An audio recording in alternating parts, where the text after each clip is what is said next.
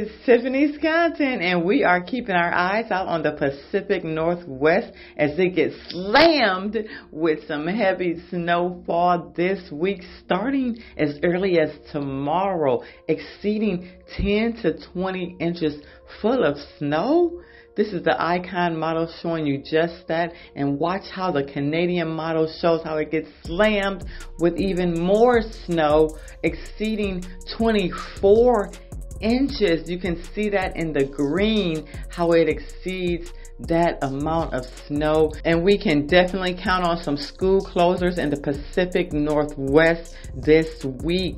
So make sure you're checking your local listings. Let's take a look at the pivotal weather and look how it slams again, that Pacific Northwest gets slammed. And don't forget that uh, severe thunderstorm rounds are still in the Gulf Coast as well. So we got a lot of action going on in the United States. So make sure you're checking your local listings. It's officially winter. It's Tiffany's content. Come on, like, share, subscribe.